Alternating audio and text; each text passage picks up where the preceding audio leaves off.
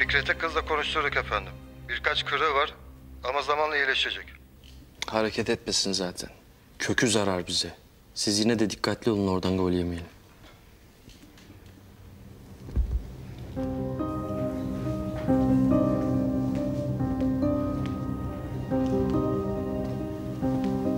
Vay.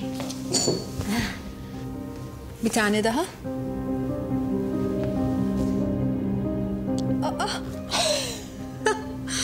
Keyfin yerinde bakıyorum. Kız geri döndü. Ömer'in yollar tıkandı.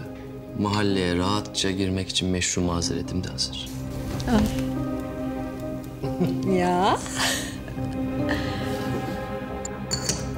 Feryal'e rağmen orada atölye açtın ya.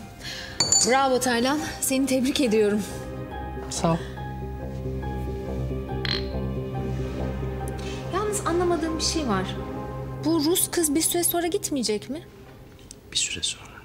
Şimdilik lazım. Bu atölye meselesi Ceylan'ın çok hoşuna gitti. Önce gözüne sonra gönlüne gireyim diyorsun. Dedim bile.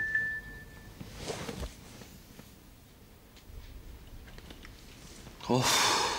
Ne oldu? Ne olacak annem?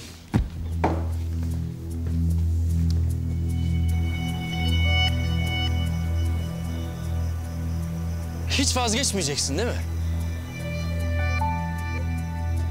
Atölye için istediğimiz makinelerin siparişini iptal etmişsin. İptal etmedim. Zeytinburnu'ndaki atölyeyi genişletiyorum. Zaten zor yetiştiriyorlardı. Makineler oraya gidecek.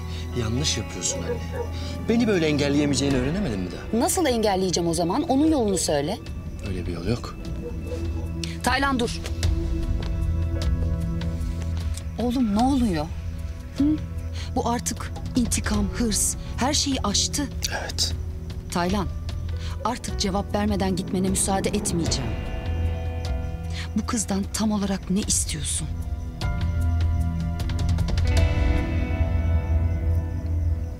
Aşk.